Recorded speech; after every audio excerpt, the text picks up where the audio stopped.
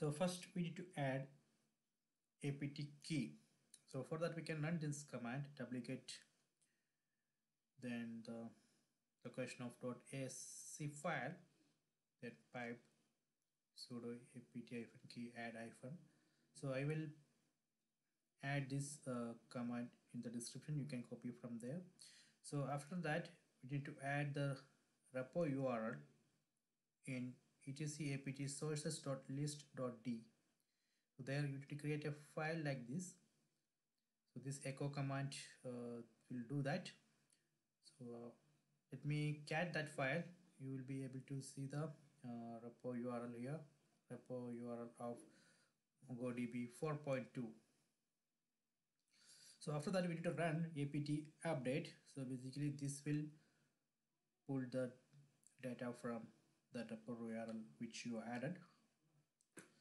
Basically it will pull the, name of the packages and its location from the url then after that you can run apt install mongodb-org this command uh, will install mongodb with all the dependencies then type y and press enter. You can see that it's installing mongodb-org-shell server mongos tools.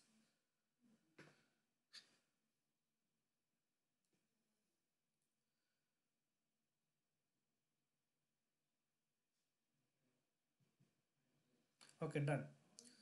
So let me start the service just run this command systemctl start mongo d dot service. You can run this command uh, systemctl enable mongo d dot service to make this service auto start when you reboot the system. So let me run mongo it's a mongodb shell. In shell you can run the command for example show dbs can see it showing the output you can see the mongo command it's showing the mongodb shell version 4.2.0 so that way we can confirm that it installed mongodb uh, version 4.2.0 in uh, this system so i hope you enjoy this video. Please subscribe my channel. Please like and share the video.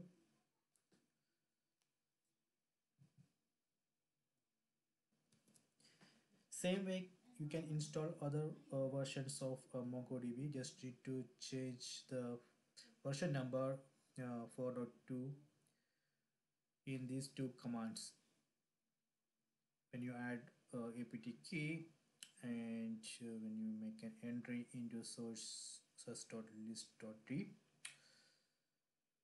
okay